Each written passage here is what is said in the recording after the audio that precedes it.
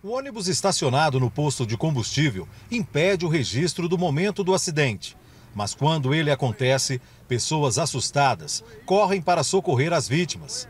Dois adolescentes de 15 anos e um motorista de 77 anos, que ficou preso às ferragens, estavam no carro atingido pelo ônibus do transporte coletivo.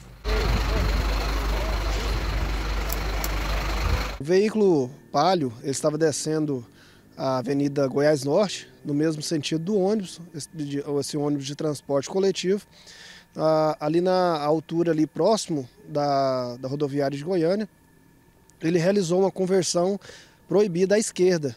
Né? É, nessa conversão houve um abarroamento lateral que o, o veículo, o, o ônibus, colidiu na porta lateral do, do motorista. O ônibus da linha 013 fazia o destino centro, recanto do bosque e ficou com a frente parcialmente danificada.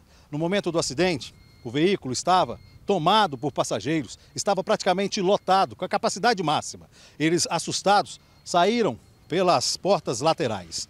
O veículo de passeio, onde estavam as três vítimas, ficou completamente destruído. O motorista, em estado mais grave, foi levado desacordado para o hospital. A velocidade ali era praticamente impossível de se evitar esse acidente pela, pela conversão proibida que ele realizou ali. Era quase 7 horas da noite desta quinta-feira, quando o acidente aconteceu.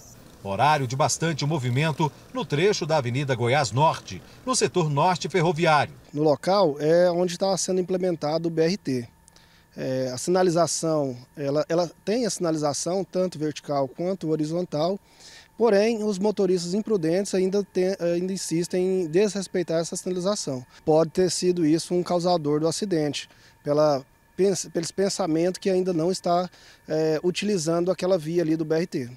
Os dois adolescentes foram socorridos conscientes para o hospital de urgências da região noroeste. O estado mais grave era do motorista identificado como Dionísio Costa Santos. Ele foi socorrido em estado grave para a unidade de saúde. Tinham dois menores no acidente que estavam dentro, dentro desse veículo, dois menores de 15 anos.